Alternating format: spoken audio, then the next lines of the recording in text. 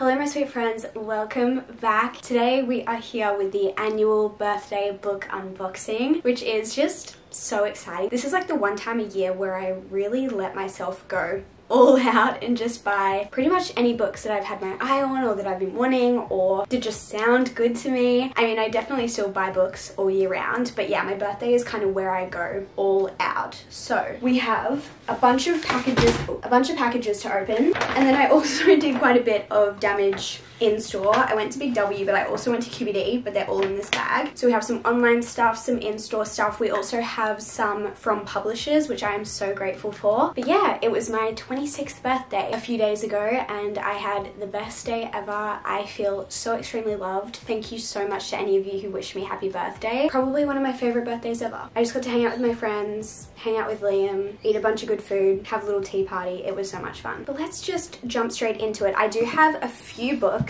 These are all from publishers and for one reason or another, I don't know why they're not in their package, but I'll show you these ones first. First up we have The Fake Out by Stephanie Archer. This is the sequel to Behind the Net and these were recently traditionally published by Hachette. So Hachette sent this one my way, which I am so thankful for. I read Behind the Net and I liked it. It was okay, but it wasn't a favorite of mine. But hopefully I might like this one even more. I do love the cover though. I think it's such a beautiful book. All I know is that it's a sports romance. I don't know anything else about this one. Oh, fake dating, apparently. I guess we'll have to wait and see. This one I am extremely excited about. This is an arc for Ali Hazelwood's newest book coming out in June. How cool is this arc? We have this cover and then we have the actual front cover like behind here which I just I love that. I think it's so fun. I have enjoyed every single book that I've read from Ali Hazelwood so I am very excited to pick this one up. I think she's going back to her roots with this one. It's just like a, a sciency rom-com. It says on the front that it's dual POV enemies with benefits forbidden romance. That sounds so good to me and angsty love story. So I'm gonna have to read this soon and let you guys know my thoughts. But she does she just like kills it with the science romances specifically. She just knows how to write them and I eat it up every time. So yeah, very keen to check this one out. Next we have one that I don't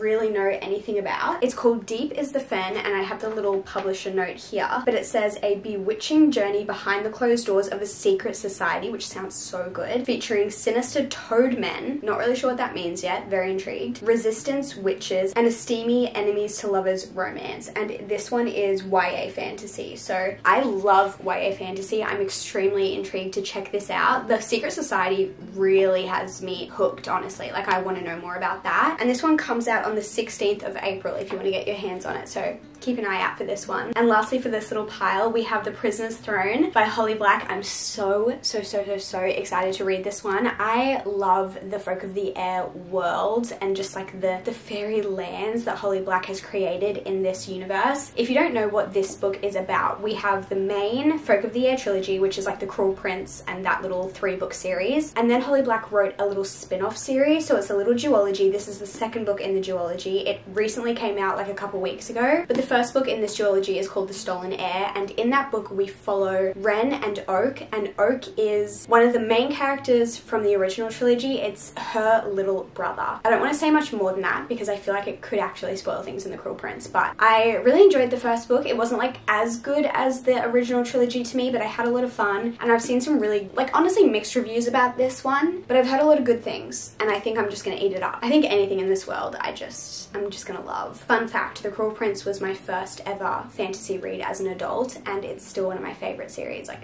I love that series so much. Do we want to get into physical shopping or packages next? Maybe packages? This one I have no idea who this is from. Things often go through my manager so I don't know that they're coming. So I guess we'll just see. I didn't bring scissors with me either so this is going to be interesting.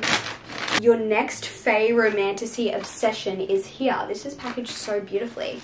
Oh! I have seen this in bookstores recently and it looks so interesting. Oh, a sticker. That's so cute. Wait a second. Wait, is this signed? this is signed by the, well, I mean, I think it's a digital signature, but that is still incredible. And we have a few little bits and pieces. A little, like, character art. Oh my gosh, that is beautiful. I think I actually downloaded this on my Kindle a couple months ago and I just like didn't get to it, but I saw people talking about it on TikTok. So this is for sale now. This is an ARC copy, but I'm very intrigued by this. If you guys have read this, please let me know your thoughts and let me know if I should. Oh, it's part of a series, The Infatuated Fae Book 1. Another gorgeous cover. I feel like the fantasy book covers recently have just been gorgeous. I'm obsessed with all of them. A Forbidden Obsession, Unyielding Family Allegiance, Three Deadly Challenges. That sounds really good. Make a little pile behind me. Next up we have this one from HarperCollins. a little lint bunny. This must have been for Easter. Like I said, I haven't opened these packages for like a month or so. I've been like saving them. HarperCollins always like wraps their publisher mail and it makes it so fun. Feels like I'm opening a present. Oh my gosh, this is another one that I have been looking at in the bookstore recently. I almost picked it up, honestly, kind of recently. I have another book by this author and I haven't read it yet, so maybe I need to read that one first. But this cover, again, it's so beautiful. This is called Fool Me Once by Ashley Winstead, and I have no idea what it's about. Battle of the Exes. Lee learned one big lesson, never trust men. Four major heartbreaks set her straight, from her father cheating on her mother all the way to Ben Lederman in grad school, who wasn't actually actually cheating, but she could have sworn he was, so she reciprocated in kind. What? So she cheated because she thought he was cheating. I don't feel like that's how it works, but okay. Then Ben shows up five years later working as a policy expert for the most liberal governor in Texas history, just as Lee is trying to get a clean energy bill rolling. Things get complicated and competitive as Lee and Ben are forced to work together. Tension builds as old sparks reignite, fanning the flames for a romantic dust-up the size of Texas. I'm intrigued by this. Again, if you've read this, let me know your thoughts. Next up we have an Amazon package that I ordered. We have two books in here. The first one is The Gilded Wolves. Oh, I love the colors on this. This is a book that's on my 24 books I want to read in 2024. It is a series that I've heard incredible things about and it just sounds absolutely fascinating. Together with a band of unlikely experts, Severin sets off to explore the dark glittering heart of Paris. What they find might change the course of history, but only if they can stay alive. That sounds super good. I feel, I could be wrong, I could be wrong. I feel like I may have heard people compare this to Six of Crows. I'm assuming it's a bit of like a heist or like band of experts work together to complete a mission type thing. I'm not sure, but it sounds really good to me, so I'm excited. And then the other book in this package is one that I am so intrigued to read. Is this kind of new? I've only seen it around kind of recently, but I don't know too much about it. It's called A Tempest of Tea. I've seen it everywhere, but I haven't heard any reviews on it. But I read the back in a bookstore recently and it just sounded absolutely fascinating. Also, the author of this book is the author of We Hunt the Flame. I haven't read that, but I've heard good things about it. So it says that our main character is a criminal mastermind and collector of secrets. Her prestigious tea room transforms into an illegal bloodhouse at night, catering to the vampires feared by society. But when the tea room and its secrets come under threat, Arthie must lead a gang of outcasts in a high stakes heist to the sinister vampire underworld. Again, heist band of thieves working together, hopefully some found family elements potentially. Sounds right up my alley. And again, I love the cover. I'm actually scared because after this, my TBR is not only going to be huge, but is also just going to be so full of so many books that I cannot wait to read. Like I don't know how I'm going to like choose what I want to read next because everything just looks so good. We have a ravioli package here. That's what I call these ones because it looks like a giant ravioli. Gorgeous. I don't know what this is. Oh, this is from a publisher. Anita De Monte Laughs Last. Again, beautiful cover, beautiful colors. We have the little publisher note here. A first generation Ivy League student uncovers the genius work of a female artist decades after her suspicious death in this memorizing novel from the New York Times best-selling author. This came out 3rd of April. Sounds really interesting. So is it like a mystery? So the original death happened in 1985 and then in 1998 the art history history student is kind of like figuring it all out. That actually sounds really interesting. I don't think it's something that I would like see in a bookstore and think to pick up, but the the premise of it sounds really interesting because it's kind of like a bit of a mystery element. It also says on the back that the main character gets involved with an older art student and kind of finds themselves like rising in the ranks of this art college world, I guess. And I think she has to choose between like, do I want to keep my reputation and continue climbing the ranks or do I want to kind of like figure this out and like set things straight? So it sounds like a bit of a moral dilemma as well. Fascinating. We have another Amazon package here. We also have, oh my gosh, it really aggravates me when you order books online and they send it and they bend the cover. That's so frustrating. Okay, the first book we have in here with our, this is so frustrating. I'll just have to straighten it out. We have Anatomy by Dana Schwartz. Dana Schwartz. Again, beautiful cover. So it looks like a heart, but it's also a girl sitting with her dress sprawled around her. A lot of people recommended this to me because I recently read the Stalking Jack the Ripper series, which is about a girl who studies autopsies and is obviously like trying to figure out how people died based on those autopsies, but also because of that gets tied up in a bunch of murder mysteries. And that one was also set, I think, in the Victorian era where women really weren't supposed to have a high level education. So it was quite scandalous for her to be studying that. And I just loved that series. And a lot of people were like, oh, you should read Anatomy because it has a similar kind of premise. So I think again, yeah, we're following Hazel, who wants to be a surgeon more than she wants to be married. And then we're following Jack, who is a resurrection man. What does that mean? Who's just trying to survive in a city where it's too easily to die. I think someone said that she pretends to be a boy so that she can go to school and like get this education. Because again, I'm assuming it's set in a time where women weren't supposed to have education. Oh, a resurrection man is someone someone who like digs graves, is it? Interesting. I think this is a duology. We have anatomy and the other book that is also very beautiful, which I can't think of the name of right now, I only bought the first one just so I could like see if it's something that I will like. I always was told that this is like YA horror and that always seemed like something that didn't sound good to me because I used to see it in the bookstores all the time and used to be like, oh, I love that cover, I want to read that. But yeah, someone told me it was YA horror and I was like, ah, oh, that just doesn't sound like it would be up my alley. But then obviously I read a similar kind of premise in Stalking Jack the Ripper and I loved it. So I'm gonna give it a chance and see. Oh, it's blurbed by Maureen Johnson, who is the author of the Truly Devious series, which I absolutely love. And her little review says, diabolically delightful, a love story, a murder mystery, and a horror novel bound up together in ghoulish stitches. That sounds so good. And the other book we have in here I'm so excited about this. This is House of Salt and Sorrows and I don't know too much about this apart from that I read the back of it in a bookstore when I was book shopping recently and it sounded so fascinating. I have no idea what the reviews are like for this book. It, I literally just picked it up and I was like, this sounds so good. So I decided to order it for myself for my birthday. But on the back it says, in a manor by the sea, 12 sisters are cursed. Annaleigh lives a sheltered life at Highmoor with her sisters. Once there were 12, but loneliness fills the grand halls now that four of the girls' lives have been cut short, each death more tragic than the last. Disturbed by a series of ghostly visions, Annaleigh becomes increasingly suspicious that her sisters' deaths were no accidents. The girls have been sneaking sneaking out every night to attend glittering balls, dancing until dawn in silk gowns and shimmering slippers, and Annaleigh isn't sure whether to try and stop them or to join their forbidden trysts. Because who or what are they really dancing with? Doesn't that sound so interesting? Obviously I could be very wrong, but I am assuming that this is like a reimagining of like the 12 Dancing Princesses, like fairy tale story type thing. But that just sounds so good. The premise got me invested straight away. Lastly, for the packages, we have this box. This is from Booktopia. Um, I had a gift card from Booktopia, so, so I obviously ordered a few from here. Let's hopefully get a satisfying pull from this one. I give it a 5 out of 10. Then, da -da -da. That is always so satisfying to me. We have five books.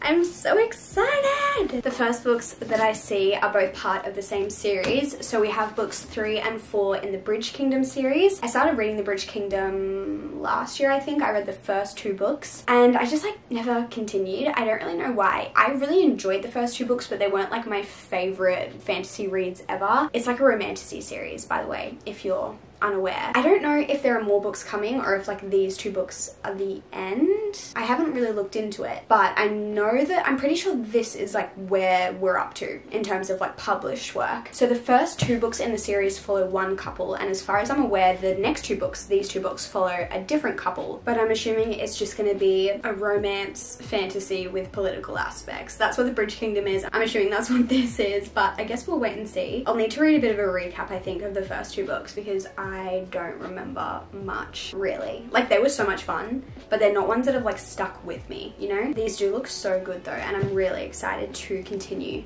the series. Like look how pretty they're all gonna look on my shelf all together. Gorgeous. I was also debating getting Danielle L. Jensen's latest release. Is it called Inked in Inked by Fate or something? Inked in Blood. Inked by Fate. I don't remember. Beautiful cover, but I've heard kind of bad reviews about it. Like I think most of the reviews I've read or like heard from people that I generally, you know, like watch videos from or whatnot, haven't been the best. So I was kind of like, hmm, maybe I won't read that but let me know if you really liked it because I'd love to know. Next up in this pile we have another book that's on my 2024 TBR and this is Project Hail Mary by Andy Weir. I really like this cover. I know there's a few different covers for this book but I'm glad I got this one. The reason why I am so excited to read this is because anytime I mention any sci-fi book, like any sci-fi book that I've read or I want to read, people are like, oh my gosh, if you like sci-fi, you have to read Project Hail Mary. And also a lot of the booktubers that I watch, even the ones who aren't super into sci-fi have loved this. Like one of the booktubers I watch is like, I don't really like sci-fi, but I loved this. And that, like, I just, I need to know. I need to know what this is about. I, I need to, I feel like I've heard really good things about the audiobook as well, so maybe I'll listen to this one. But I actually have no idea what it's about. All I know is it's sci-fi and that everyone seems to love it. It seems to just have like a very overall positive consensus. On the back it says, Ryland Grace is the sole survivor on a desperate last chance mission, and if he fails, humanity and the earth itself will perish. That is a lot of pressure. I would be very stressed. But right now he doesn't know that. Oh, well, maybe he's not stressed. All he knows is that he's been asleep for a very, very long time and he's just woken to find himself hurtling through space millions of miles from home. It's up to him to puzzle out an impossible scientific mystery and he's got to do it alone. Dot, dot, dot. Or does he? And it also says an ally he never imagined. Okay. I haven't read a lot of sci-fi. I've read the Lunar Chronicles, the Renegade series, the Red Rising trilogy, like the original trilogy, and Ready Player One. Like that is my extent of knowledge on sci-fi, so I'm intrigued. I also think this is on my 2024 TBR. This is The Storied Life of A.J. Fikry. I know that a bunch of Gabrielle Zevin's books have been like republished and like the cover has changed and I am so happy I got this cover. I love it. It kind of matches the Tomorrow, Tomorrow, Tomorrow cover. And if you guys don't know, I was obsessed with Tomorrow and Tomorrow and Tomorrow. I read it last year, end of last year, towards the end of last year, and I loved it. Five stars from me. I still think about it all the time. It was just so well done. We read it in our book club and all of my friends loved it. It's the only book that we've all rated five stars. And then obviously I saw the book girlies talking about this. I think Haley read it first and then Destiny read it. And I don't read a lot of just like general fiction, but because I love Tomorrow, Tomorrow, Tomorrow so much, I thought, why not give this a chance? AJ Fikry, the grumpy owner of Island Books, is going through a hard time. His bookshop is failing, he has lost his beloved wife, and a prized rare first edition has been stolen. But one day AJ finds two-year-old Maya sitting on the bookshop floor with a note attached to her asking the owner to look after her. His life and Maya's is changed forever. That actually sounds really good. The pile is getting taller. And the last book that was in this package is kind of like a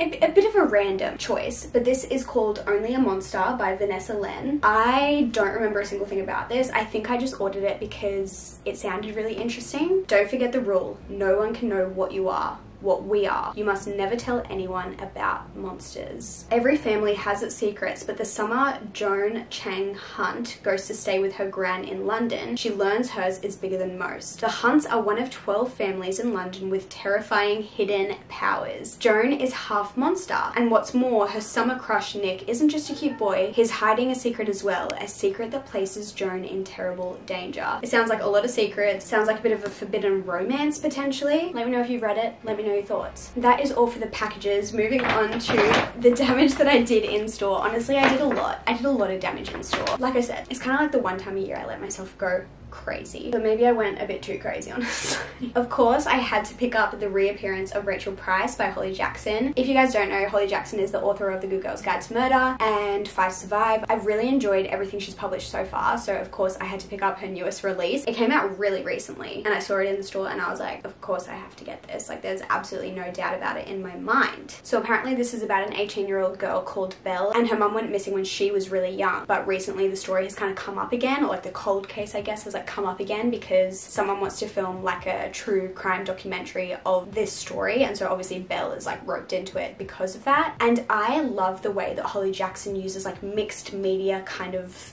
things. Like if you read A Good Girl's Guide to Murder, she has like clippings from newspapers and like photos that are like evidence from the police and it makes you feel like you're actually like fully immersed in an investigation. Like she does a great job at using different things in her books to create a very consuming experience. And so I'm hoping this will be somewhat similar. And I guess if it follows like a true crime documentary type thing, there'll be, you know, like interviews and different things like that. So I'm excited to see what I think of this. Holly Jackson is yet to miss for me personally. So hopefully this is just another really good story. Another YA book that I picked up is Where Sleeping Girls Lie, and this is the newest release from the author of Ace of Spades, which I read a few years ago and loved. I really, really enjoyed Ace of Spades. I was also watching Carrie Can Read's new video where she was just talking about all of her latest reads, and she can convince me to read anything, I swear. She has the best recommendations, and she was talking about this and she really liked it, and she also just described the premise of it, and I was like, I am sold. So when I saw it in store, I was like, absolutely, you're coming home with me. But apparently this is about a girl who moves into a boarding school and she's like new there and very quickly she gets wrapped up in some sort of, is it a murder mystery or just like a disappearance? Oh no, a student is found dead. but yeah, she gets caught up in that very quickly and obviously was not expecting to. But the idea of like a murder mystery set at a boarding school just sounded absolutely fascinating to me and I really loved this author's writing in Ace of Spades and just like the storyline in general. So of course I had to pick this up. Next I picked up The Invocations by Krystal Sutherland. This is my book club's book for April so I just wanted to pick up the physical copy so I could read it of course. But I'm intrigued. I haven't read anything from this author. I don't know much about what this is about. I know that it's witchy. I know that it's maybe like mystery vibes. It's YA fantasy. I remember it being like three girls, one something. Three girls, one supernatural killer on the loose. And that's all I need to know. I'm hoping this is a good one. I am excited to read that and just be able to talk to the girls about it in a couple weeks when we have book club. What else do we have in this bag of goodies? Okay, we have a romance. I feel like, have I not shown, I think I've shown like one or two romances. I'm definitely in my fantasy era at the moment. That is just what I am itching to read, what I'm just like obsessed with. And so that's like mostly what I picked up. But we do have a fun little romance. This is In the Weeds by B.K. Borison. This is the second book in the, I don't know what the name of the series is called. Is it just like the Lovelight Farms series? But I read Lovelight Farms in December last year and I liked it. I wasn't obsessed with it, but I thought it was it was a fun little time and so I wanted to pick up the next book and see what I thought. It's set in the same town and it just follows a different couple, I guess, that lives in the small town. Actually, it follows a guy who is like a farmer in the small town and then a girl who doesn't like necessarily live there but comes to visit. You meet both characters in the first book and I think this takes place on the same like timeline as the first book because it takes place during the like social media contest that happens in the first book. So is it the same like timeline? Just like different POVs. I'm intrigued. The characters were really fun in the first book, so I'm excited to read their love story. And another like fun little romance that I picked up is Swift and Saddle by Lyla Sage. Of course I had to pick this up. I read Done and Dusted last year and I really enjoyed it. I don't think it's like the best romance I've ever read, but it's such a vibe. Like it's just a good little palette cleanser. These books are really short as well, but I think in this book we're following the brother of the main girl in the first book and then his love interest. I don't know who she is. I think she comes to work for him. I feel like I've heard people say she's like an interior designer or something along those lines. But I love this cover so much. The covers of this series in general are beautiful. This is also like a cowboy kind of romance. The family, like the main family lives on a ranch. So it has a similar vibe to the Chestnut Spring series. So if you've read that series and you want just just, I don't want to say it's the same because it's not the same, but like something that gives a similar vibe. This is a great series to pick up. Next, we have another fantasy book. This is All This Twisted Glory by Tahereh Mafi. This is the third book in the This Woven Kingdom series. I think it's still going. I don't think this is the last book. I don't know how many books it's going to be total, but I read This Woven Kingdom and these Infinite Threads last year and really enjoyed them. I think they were like four star reads for me. They're like fantasy romance. They definitely, like if you know Tahereh Mafi, she is the author of the Shatter Me series. It's a very different vibe to Shatter Me, but still very good in my opinion. But if you don't know what this book is about, in the first book we follow this girl who is working as a servant, but she's kind of like a secret princess. Like she's a really important person, but she's kind of like hiding in plain sight kind of thing, like working as a servant. And there's a prince and I'll leave it at that. I feel like it doesn't have great reviews. Like I feel like most people are like, yeah, it's it's it's fine. And I kind of feel the same. Like I'm like, oh, I enjoyed that. That was good, but it's not like my top favorite fantasy series, but it's good enough for me to want to continue. So I guess that tells you all you need to know. Okay guys, we're almost done. Three books left. We have another little book that I wanted to continue the series of. This is Two Twisted Crowns by Rachel Gillig. I own One Dark Window. Have I read it? No. Is it on my TBR for this month? Yes, so hopefully I will read it this month. And usually I don't love to buy like other books in a series when I haven't read the first one, but I was like, it's only a duology. Surely I can just buy the second one. I feel like with duologies, even if it's not great, I want to finish it. Like I want to read the second one, even if the first one isn't great, which I think the first one will be good, don't get me wrong, but I just wanted to have the second book now because I feel like it could be one of those books where I finish the first one and just want to read the second one straight away. I've also heard that most people like the second book more. I'm really hoping I get to these books this month. I feel like I'm so late on the bandwagon with these. Like these had their like moment like months ago and I'm I'm missing out. I mean maybe I won't love them, but maybe I will. And maybe I've been missing out all these months, you know? Guys, this is a bit ridiculous. Okay, another one that I am so excited to read. I've had my eye on this book for so long is this one. It's called Trial of the Sun Queen and I saw like when this got traditionally published, I saw it posted, I think it was posted on Hachette's Instagram. If you want to know like like what's getting published, what's coming out, follow publishers on Instagram because they always obviously like keep everything updated and have all the announcements and it's so fun to see what's coming out and seeing all the new books. And this one was pitched as something meets The Bachelor. I can't remember what the other one was, but that got me so hooked. Like I was like, you have sold me. But for some reason it took me a long time to pick it up, but I have picked it up now. Again, one of my books on my 24 books I want to read in 2024. But on the back it says 10 women, a deadly contest. Only one can win the Sun King's heart. I could be making this up and this could be so wrong, but I am hoping, again, could be so wrong. I am hoping this is like an adult version of the selection.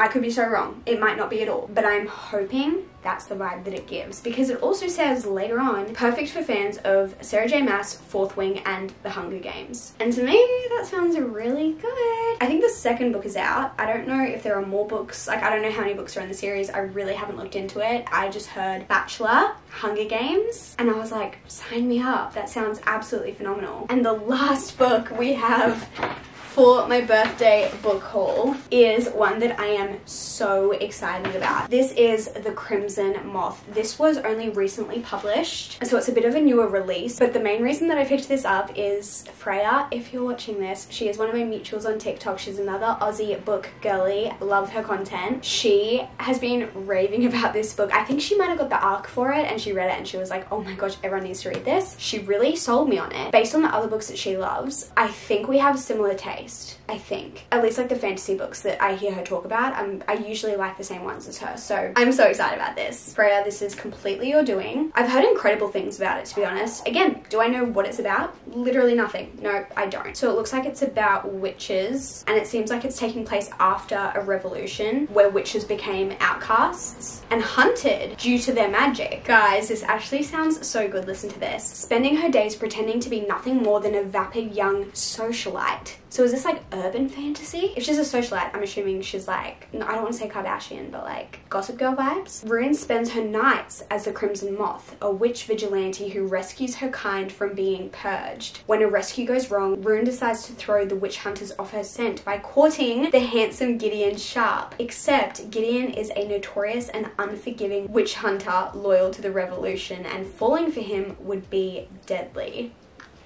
That sounds so good. So she's a witch and she's dating a witch hunter, but pretending she's not a witch. I'm so excited for this. I'm so excited. Well, that is absolutely ridiculous on my part, I must say. I have a lot of reading to do. I love how I'm like, this year I want to read my physical TBR. And then I go and do that.